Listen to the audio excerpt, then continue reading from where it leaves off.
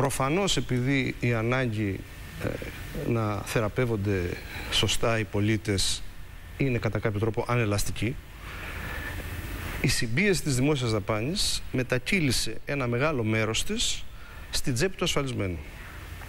Αλλά και ένα μεγάλο μέρος της στην ίδια τη βιομηχανία λόγω της υπέρβασης που προκύπτει από τον κλειστό προϋπολογισμό και της υποχρέωσης να επιστρέφει όλο το επιπλέον ποσό. Είναι το λεγόμενο rebate και clawback το οποίο επιστρέφει η βιομηχανία. Σήμερα ναι, λοιπόν. Υπήρξαν παραλήψει από τη διοίκηση τα προηγούμενα χρόνια. Αυτό είναι άλλο θέμα. Που δεν εκδόθηκαν οι υπουργικέ αποφάσεις. Αυτό επα... ε, τα χρήματα. Έχει εντοπιστεί τώρα ότι υπάρχει ναι. μια οφειλή 241 εκατομμύρια, τα οποία είμαστε σε μια διαπραγμάτευση αυτή την περίοδο, πώς θα μπορέσουμε να συνυπολογιστούν και να συμψηφιστούν με τρέχουσες υποχρεώσεις. Ήταν δηλαδή εκτόσεις που είχαν νομοθετηθεί την προηγούμενη δεκαετία έπρεπε να καταβληθούν και δεν καταβλήθηκαν τότε στα ασφαλιστικά ταμεία, στο ΙΚΑ κυρίως και στα υπόλοιπα ασφαλιστικά ταμεία. Ε, προσέξτε τώρα, για μένα το κρίσιμο ζήτημα είναι ε, ότι βρέθηκε ένα κομμάτι της κοινωνίας, κυρίως οι ανασφάλιστοι πολίτες, που έφτασαν να είναι κάποια στιγμή 2,5 με 3 εκατομμύρια, τώρα είναι γύρω στα 2, έφτασαν να είναι αποκλεισμένοι, επειδή έχασαν την ασφαλιστική τους κάλυψη, έχασαν και το δικαίωμα να συνταγογραφούν τα φάρμακά τους. Δημιουργήθηκε λοιπόν μια μεγάλη εκτεταμένη ζώνη ε, υγειονομικής φτώχειας όπως λέμε στη χώρα και αυτό ήταν μια επίγουσα κοινωνική ανάγκη να αντιμετωπιστεί. Νομίζω ότι με την παρέμβαση που έγινε με τον νόμο του 16 για τους ανασφάλιστους αυτό αντιμετωπίστηκε και σήμερα... Αλλά είναι λίγο διαφορετικό το πράγμα που λένε φάρμακα εκτός συνταγογράφησης. Θα τα πούμε αυτά. Θα τα πούμε αυτά. Ναι. Το σημαντικό λοιπόν είναι, το σημαντικό, το σημαντικό είναι πρώτον ότι οι ανασφάλιστοι άνθρωποι, άρα όλος, όλοι οι πολίτες, ανεξάρτητα από εργασία, ασφάλιση και εισόδημα, έχουν δικαίωμα στην πρόσβαση στα αναγκαία φάρμακα. Αυτό είναι τεράστια αλλαγή. Και αυτό έχει προσθέσει επιπλέον δαπάνη. Για να έχετε μια εικόνα, στο πρώτο τρίμηνο του 19, 532.000 ανασφάλιστοι πολίτες με μοναδικό άμκα, ξεχωριστοί πολίτες δηλαδή, όχι ένας πολίτης που συνταγογραφεί κάθε μήνα, έχουν συνταγογραφήσει τα φάρμακά τους αξίας 65 εκατομμυρίων ευρώ, μόνο για το πρώτο τρίμηνο. Ναι. Αυτό για να καταλάβετε, μέχρι το 16 δεν υπήρχε. Ναι. Οι πολίτες αυτοί είτε υποθεραπεύονταν όπως είπε ο κύριος Θεοδοσιάδης, ναι. Δηλαδή ε, δεν έπαιρναν τα φάρμακά τους κανονικά ή δεν τα έπαιρναν καθόλου. Και σήμερα λέει ο Λέει ότι ισχύει και σήμερα. Εντάξει, είναι κάτι το οποίο πρέπει να το, πρέπει να το ελέγξουμε. Είναι άλλο πράγμα ο αποκλεισμός μιας μεγάλης μερίδας ανθρώπων από το σύστημα υγείας που το λύσατε με τον νόμο του 2016. Αυτό, είναι λοιπόν- άλλο πράγμα αυτό που λένε τώρα οι, οι φαρμακοποιοί και οι φαρμακοβιομήχανοι. Ε, ότι υπάρχουν. Εγώ λοιπόν λέω το εξής. Το κρίσιμο είναι και νομίζω το, το, το σημαντικό κοινωνικό κεκτημένο είναι ότι πλέον ε, είναι διασφαλισμένη και εγγυημένη η πρόσβαση των πολιτών στα αναγκαία φάρμακα. Είτε τα φτηνά καθημερινά, είτε και τα πιο τα ακριβά καινοτόμα, που επίσης ακολουθήθηκε μια πολιτική ελεύθερης πρόσβασης, προφανώς με βάση ιατρικές ενδείξεις. Και δεν υπήρξαν αποκλεισμοί και ε, ηθμοί και εμπόδια και πολιτικές επιλογές μη έγκρισης αποζημίωσης όπως υπήρξαν στο Για παρελθόν. Για να έρθουμε λίγο στο προς το προκείμενο. Λοιπόν, σήμερα λοιπόν. Τρεις συλλόγοι, να τους συνοψίσω Όχι, όχι, να, να σας πω εγώ χοντρικά, ε, εγώ λέω το εξής. Υπάρχει μια τριμερής χρηματοδότηση στην ουσία. Βεβαίως. Στη φαρμακευτική πολιτική. Υπάρχει το κράτος, το οποίο δίνει περίπου 2,5 δις, δηλαδή δίνει 1,945 για τα εξονοσοκομιακά φάρμακα και 550 εκατομμύρια για τα νοσοκομιακά, 2,5 δις. Mm ε, είναι ο, ο πολίτης ασφαλισμένος και ανασφάλιστος, ο οποίος δίνει από την τσέπη του ε, περίπου 1,6 με 1,8 δις, από αυτό το 1 τρίτο είναι η θεσμοθετημένη συμμετοχή, δηλαδή το ποσοστό 10 και 25% που πληρώνει ναι, επί ναι. της τιμής. Η, και η διαφορά λιανικής ασφαλιστικής τιμής, που είναι μια ιστορία τώρα λίγο περίπλοκη, δεν ε, μπορούμε να ναι. την εξηγήσουμε πάρα πολύ καλά, και το 1 ευρώ να συνταγή, αυτό είναι περίπου 600 εκατομμύρια ευρώ το χρόνο. Τα υπόλοιπα 1,2, 1,1 δις είναι τελείως out of pocket πληρωμή. Δηλαδή πάει ο, ο πολίτης είτε επειδή έχει πρόβλημα στην ε, πρόσβαση στη, ε, στη συνταγογράφηση είτε επειδή τα φάρμακα είναι φτηνά και με αυτόν τον τρόπο. Ε, τα βάζει εξολοκλήρω από την τσέπη του. Είτε είναι μη συνταγογραφούμενα φάρμακα, είτε είναι συνταγογραφούμενα αλλά μη αποζημιούμενα. Υπάρχει δηλαδή μια μεγάλη γκάμα ναι, φαρμάκων. Ξέρετε τι θέλω να σας ρωτήσω. Επειδή εδώ στο δικό μου το μυαλό, αν μου επιτρέπετε να διατηρήσω. Παρακαλώ, παρακαλώ. Στο δικό μου το μυαλό, ε, σύμφωνα με τους ανθρώπους που ασχολούνται με το φάρμακο, τρεις είναι οι λόγοι mm -hmm. της αύξησης της φαρμακευτικής δαπάνης για τον, για, για τον, για τον πολίτη. Λέτε, για τον πολίτη. Μα αυτό ωραία, ενδιαφέρει. Ωραία. Ε, το πρώτος είναι ότι αυξήθηκε, αυξήθηκε η συμμετοχή του σε κάποια φάρμακα. Mm -hmm. Ο δεύτερος είναι ότι υπάρχουν φάρμακα που είναι εκτός συνταγής, άρα τα πληρώνει εξ ολοκλήρου από την τσέπη του. Mm -hmm. Και ο τρίτος λόγος έχει να κάνει με την ελεύθερη αγορά, με τις τιμές που διαμορφώνουν οι φαρμακοβιομηχανίες και οι φαρμακευτικές mm -hmm. εταιρείες. Το ερώτημα που θέλω να κάνω προς εσάς είναι ότι μήπως στην προσπάθεια το ελληνικό κράτος δικαίως να περιορίσει την υπέρογγη φαρμακευτική δαπάνη με τις ευλογίες της Τρόικας. Ε, μήπως πήγαμε στο άλλο άκρο; Μήπως δηλαδή πετύχαμε τα ποσοστά που θα έπρεπε στη μείωση της φαρμακευτικής δαπάνης για την τσέπη του κράτους, αλλά το πετύχαμε με τη μετακύληση του κόστους στην τσέπη του ασφαλισμένου; Προσθέτω, εγώ βάζω την, ναι. μια ε, καθημερινή εικόνα που λέει ότι κάποιος, αυτό που λες Κώστα και προσθέτω και να έχει το χρόνο να απαντήσει ο Υπουργός, ότι ε, έστω κάποιος, τώρα μιλάμε για μια σύνταξη, δεν ξέρω κι εγώ, 600 ευρώ. Εντάξει. Και είναι ένας άνθρωπος ο οποίος πλέον πρέπει καθημερινά να παίρνει μια αγωγή ε, και βλέπει τη συμμετοχή του να αυξάνεται. Σε συνέχεια το ερώτημα του, του Κώστα το λέω και το, το έχετε όλο μαζί. Δεν βγαίνει. Λοιπόν, προσέξτε. Έχετε απόλυτο δίκιο. Από την ασυδοσία πήγαμε στην ισοπαίδωση και στη μετακύληση του κόστους σε μεγάλο βαθμό στον πολίτη. Αυτό είναι απόλυτα σωστό ως δεδομένο και είναι η πιο δραματική παρενέργεια, επιτρέψτε μου να πω, της πολιτικής της λιτότητας και της μνημονιακής πολιτικής που υλοποιήθηκε αυτά τα χρόνια. Ναι. Τώρα, το θέμα είναι το εξής. Πρώτον, τι μπορέσαμε να πετύχουμε μέσα στο μνημόνιο, μέσα στην κρίση. Θα σας πω δύο-τρία παραδείγματα ανακούφισης και κυρίως τι δυνατότητες έχουμε από εδώ και πέρα με στο νέο δημοσιονομικό περιβάλλον και στο νέο πλαίσιο το οποίο διαμορφώνεται σιγά σιγά μετά την ασφιχτική επιτροπή, πώς μπορούμε σιγά σιγά αυτή τη στρέβλωση να την αντιμετωπίσουμε. Ε, πρώτον, μέσα λοιπόν στην κρίση καταφέραμε να καλύψουμε τους ανασφάλιστους.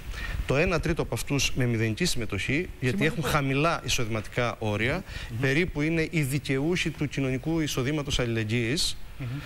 ε, Επίσης, καταφέραμε να μειώσουμε περίπου 40 εκατομμύρια ευρώ την επιβάρηση των πολιτών όταν ε, θεραπεύονται με γενώσιμα τα οποία είναι στην κατηγορία του 10% συμμετοχή, αυτό το 10% το κάναμε μηδέν. Ναι. Δηλαδή ε, δώσαμε ένα θετικό οικονομικό κίνητρο στον πολίτη, γιατί υπήρχε και στόχος να αυξηθεί η διείσδυση των γενοσύμων στην αγορά, όπως γίνεται σε όλες τις χώρες της Ευρώπης, και με αυτόν τον τρόπο να δημιουργήσουμε χώρο για να μπορούν να μπουν περισσότερα ακριβά καινοτόμα φάρμακα. Αυτή είναι μια πολιτική σωστή, η οποία για να υλοποιηθεί θέλει να έχει και ένα κίνητρο σημαντικό και ο πολίτης. Ε, χρειάζονται βέβαια και οι υπόλοιποι η υπόλοιπη κρίκη, δηλαδή και ο γιατρός και ο φαρμακοποιός, αλλά εκεί είναι λίγο πιο δύσκολα τα πράγματα. Ε, μειώσαμε λοιπόν 40 εκατομμύρια αυτή την επιβάρυνση. Επίσης, μειώσαμε περίπου 15 με 20 εκατομμύρια ευρώ το χρόνο την επιβάρυνση του ενός ευρώ να συνταγή, διότι προσέξτε, ε, παλιότερα για κάθε ε, τρία, ε, μια συνταγή περιλάμβανε τρία φάρμακα. Ναι. Τώρα μία, ε, όσα φάρμακα και να παίρνει κάποιος, γράφονται σε μία συνταγή. σε μία συνταγή. Και στόχος μας είναι σε λίγο καιρό να έχουμε άλλες συνταγές, να σταματήσει δηλαδή αυτή η ιστορία με τα χαρτάκια και να υπάρχει ε, ηλεκτρονικά. Ναι. Να, ε, στο ούτε βιβλιάρια ασθενείας και ούτε τίποτα. Επίσης έχει καταρριφθεί το βιβλιάριο ασθενείας. Νομίζω ότι γίνονται αρκετά εξυγχρονιστικά βήματα. Μόνο από αυτό λοιπόν ε, για να καταλάβετε, έχει μειωθεί περίπου 15-20 εκατομμύρια ευρώ η επιβάρηση του πολίτη. Ναι. Δηλαδή, αν ένας πολίτης έπαιρνε 7 φάρμακα, πλήρωνε 3 ευρώ. Γιατί ανά τρία φάρμακα ήταν μία συνταγή. Ουσιαστικά πλήρωνε για, τρι, για τρεις συνταγές. Ναι, ναι, ναι. Αυτό τώρα έχει, είναι ενιαίο, οπότε έχει μειωθεί η επιβάρηση σημαντικά γι' αυτό. Και επίσης ε, διασφαλίσαμε ότι οι καρκινοπαθείς, τα φάρμακα τα οποία ήταν για συνοδά νοσήματα και όχι για την κύρια νόσο, για την ογκολογική πάθηση που εκεί είναι δωρεάν, είναι μηδενική συμμετοχή, επίσης και αυτά έγιναν, ε, πήγαν στο 0%. Ναι, Αυτό τώρα τι ετοιμάζουμε αυτή την περίοδο. Αυτά ήταν μέσα στο, ναι. στην περίοδο του, της κρίσης και του ναι. μνημονίου. τώρα αυτό που ετοιμάζουμε αυτή την περίοδο είναι ένα νέο σύστημα αποζημιωτικής πολιτικής το οποίο ουσιαστικά θα περιορίσει πάρα πολύ αυτό το κομμάτι που αφορά τη διαφορά λιανικής ασφαλιστικής. Δηλαδή για να καταλάβετε από τα 620 εκατομμύρια που πληρώνει ο πολίτης ναι. ως θεσμοθετημένη συμμετοχή στην αγορά φαρμάκων. Τα 360 είναι το 10 και το 25% και τα 260 είναι η διαφορά λιανικής ασφαλιστικής. Δηλαδή είναι η τιμή που αποζημιώνει το ταμείο, θα ο ΕΟΠΗ. Αυτό μείωση στη συμμετοχή; Αυτό βεβαίως. Αυτό θα μειωθεί από τη μείωση αυτής της διαφοράς θα υποφεληθεί ο πολίτης. Αυτό πότε το περιμένουμε. Αυτό το ετοιμάζουμε τώρα μια υπουργική απόφαση. Θα την έχουμε, θα τη διαβουλευτούμε αμέσως μετά το Πάσχα. Ήδη έχουμε ξεκινήσει συζητήσεις. Άρα, Άρα το έχουμε μείωση της συμμετοχής ε, του πολίτη. Αυτό μας λέτε. Μείωση της επιβάρυνσης της οικονομικής, να το πούμε. Όχι της συμμετοχής ναι, θεσμο... σαν ποσοστό. Καταλαβαίνετε. Αλλά... Όμως και εκεί εξετάζουμε, όπως κάναμε για τα γενώσιμα που είναι στο 10%, ναι. το κάναμε στο 0. Ναι. Τώρα συζητάμε για τα γενώσιμα που είναι στο 25% να το πάμε στο 20%. Πάλι για να υπάρχει δηλαδή και στα. Για να καταλαβαίνουν και όλοι όσοι μας ακούν, είναι ότι ε, αυτό που λέμε με του και αν καταλαβαίνουμε και εμείς σωστά, θα ε, πέραν του θεσμοθετημένου και μη θεσμοθετημένου θα πληρώνουν λιγότερο ασφαλισμός. Ακριβώς. Αυτό, αυτό μας ενδιαφέρει. Και ένα τρίτο ναι. και πολύ σημαντικό είναι το εξής θα προβλέψουμε ότι για τα φάρμακα που πλέον, τα, τα νέα φάρμακα που έρχονται στη χώρα και που εδώ έχει γίνει μια πολύ σημαντική αλλαγή, η οποία ναι. δεν υπήρχε. Ένας ε, ε, νέος μηχανισμός αξιολόγησης και διαπραγμάτευσης mm -hmm. της τιμής τους. Μέχρι τώρα δεν υπήρχε. Ναι. Ήταν διάτριτο το σύστημα, ναι. γι' αυτό έγινε το πάρτι, γι' αυτό υπήρχε η έκρηξη της Ζαπάνη, γι' αυτό υπήρξε όλη αυτή η ασυδοσία και η φαυλότητα. Τώρα έχουμε θωρακίσει το σύστημα. Για κάθε νέο φάρμακο που έρχεται στη χώρα, προηγείται αξιολόγηση της κλινικής του αξίας, του ναι. κλινικού ωφέλους που προκύπτει για τον ασθενή ε, και ταυτόχρονα προηγείται διαπραγμάτευση με την εταιρεία που το φέρνει για μια πιο προσιτή τιμή και άρα να διασφαλίσουμε έτσι τη βιωσιμότητα του συστήματος. Τα φάρμακα λοιπόν τα οποία θα, ε, θα μπαίνουν στην αγορά έχοντας προηγηθεί διαπραγμάτευση θα προβλέπεται υποδιπλασιασμός της συμμετοχής του ασθενή στο κόστος. Δηλαδή, αν ένα φάρμακο, γιατί προσέξτε... Η, η, για τα νεοεισερχόμενα φάρμακα. Για αυτά. τα νεοεισερχόμενα, τα οποία έχουμε πετύχει μια ε, διαπραγμάτευση χαμηλότερης ναι, τιμής. Ναι. Σε αυτή την περίπτωση, επειδή αυτή είναι εμπιστευτική αυτή η τιμή, δεν πάει δηλαδή στη λιανική τιμή, θα προβλέψουμε ότι θα είναι υποδιπλάσιο το ποσοστό συμμετοχής. Αν δηλαδή είναι στο 25% θα πηγαίνει στο 12,5% ή αν είναι στο 10 θα είναι στο 5. Τα περιμένουμε μετά το Πάσχα. Αυτά είναι, είναι παρεμβάσεις ανακουφιστικές στα πλαίσια μιας συνολικής δέσμης αλλαγών που προωθούμε αυτή την περίοδο, ένα νέο μείγμα φαρμακευτικής πολιτικής που προωθούμε αυτή την περίοδο, που θέλουμε να διασφαλίσει την ευστάθεια του συστήματος, την εύρυθμη λειτουργία της αγοράς, την παραμονή στην ελληνική αγορά φθηνών και αποτελεσματικών φαρμάκων. Αυτό το συνεχές dumping τιμών όλα αυτά τα χρόνια οδήγησε σε μια πολύ ε, μεγάλη τάση απόσυρσης φθηνών φαρμάκων και υποκατάστασής τους με νέα ακριβότερα, τα οποία επιβαρύνουν και το κράτος αλλά και την τσέπη των πολιτών. Και επίσης θέλουμε να εγγυηθούμε την πρόσβαση στα ακριβά καινοτόμα φάρμακα, το οποίο το καταφέραμε αυτά τα χρόνια με πολύ μεγάλη δυσκολία. Εμείς, λόγω επαγγελματικής διαστροφής, παραμένουμε στη...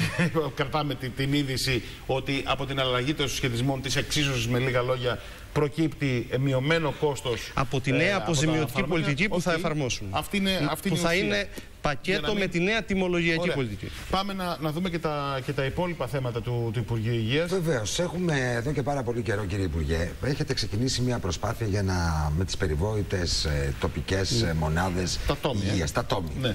Ε, είναι μια προσπάθεια που ως φιλοσοφία και ως αντίληψη νομίζω ότι κανείς δεν, έχει, ε, δεν μπορεί να είναι αντίθετος. Έχουν δημιουργηθεί κάποιες μονάδες, έχετε εξαγγείλει έναν μεγάλο αριθμό ο οποίος περνάει ο καιρός αλλά ακόμη ε, με αργούς ρυθμούς θα έλεγα ε, στελεχώνονται και δημιουργούνται αυτές οι νέες μονάδες. Υπάρχει λοιπόν πρόβλημα με τη στελέχωση και γι' αυτό είναι αργός ο ρυθμός δημιουργίας αυτών των μονάδων; Καταρχήν το κρίσιμο ερώτημα είναι αν αυτή η μεταρρύθμιση η οποία για πρώτη φορά υλοποιείται με ένα συγκροτημένο τρόπο στη χώρα μας μια αλλαγή δηλαδή στο τοπίο της πρωτοβάθμιας φροντίδας με επίκεντρο το θεσμό του οικογενειακού γιατρού αλλά και αποκεντρωμένων μονάδων οικογενειακής ιατρικής σε όλη τη χώρα, οι οποίες στελεχώνται όχι μόνο από γιατρούς αλλά και από άλλους επαγγελματίες υγείας. Αυτό είναι η νέα ιδέα αυτής της προσέγγισης, είναι ότι δεν είναι μόνο ο οικογενειακός γιατρός, υπάρχουν και ε, μια ομάδα διεπαγγελματική υγείας η οποία τον συνεπικουρεί και μαζί οργανώνουν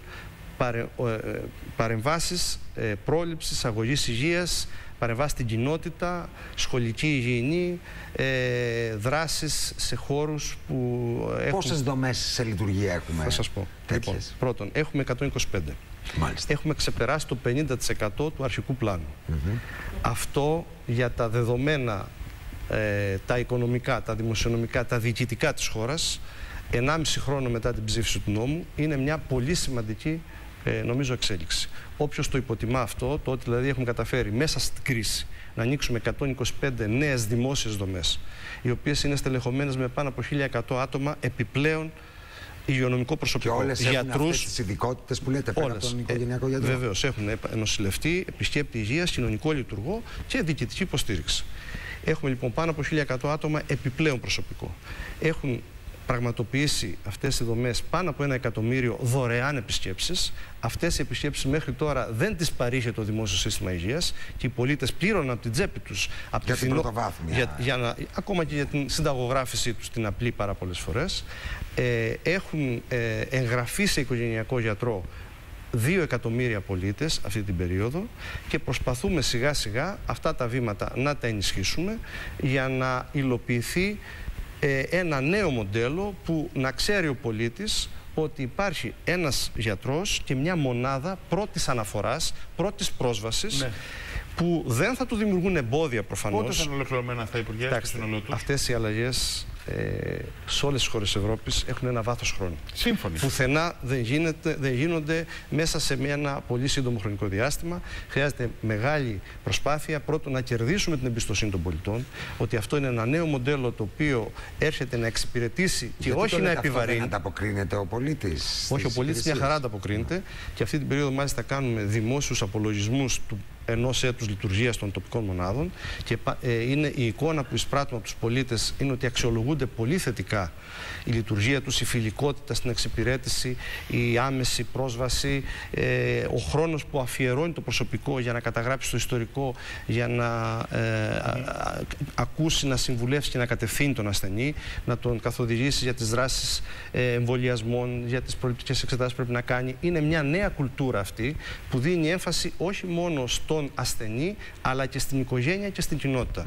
Αυτό είναι κάτι το οποίο θα προχωρήσει σιγά σιγά. Εγώ την κριτική που λέει ότι καθυστερούν τα, τα πλάνα σας και δεν υλοποιείτε το χρονοδιάγραμμα, την ακούω και την ε, θεωρώ ε, θετική ε, και προσπαθούμε και εμείς να επιταχύνουμε. Αυτό όμως δεν, που δεν μπορώ να αντιληφθώ είναι μια κριτική που λέει ότι ενώ ταυτόχρονα επισημαίνει την καθυστέρηση, λέει ότι αυτές είναι αχρίαστες δομές, είναι δομές οι οποίες είναι φαραωνικού τύπου. Μπορείτε να πάτε να κάνετε ένα ρεπορτάζ και να δείτε ότι είναι μικρές, ευέλικτες, ουσιαστικά είναι μικρά πολυατρία τα οποία πραγματικά είναι τα περισσότερα σε δημόσιους χώρους και διασφαλίζουν μια πολύ πιο ποιοτική φροντίδα. Για να, ε, για να μην... Ο στόχος, είναι, ναι. ο στόχος είναι μέσα στο 19 να, ε, ή τουλάχιστον μέχρι το φθινόπωρο να έχουμε ξεπεράσει τις 150 και όσο αυξάνεται η διαθεσιμότητα κυρίως οικογενειακών γιατρών, γιατί εκεί υπάρχει δυσκολία, ναι. έχει μειωθεί... Πείτε, πείτε μας γιατί υπάρχει δυσκολία. Υπάρχει δυσκολία διότι έχει μειωθεί η διαθέσιμη δεξαμενή γιατρών στη χώρα.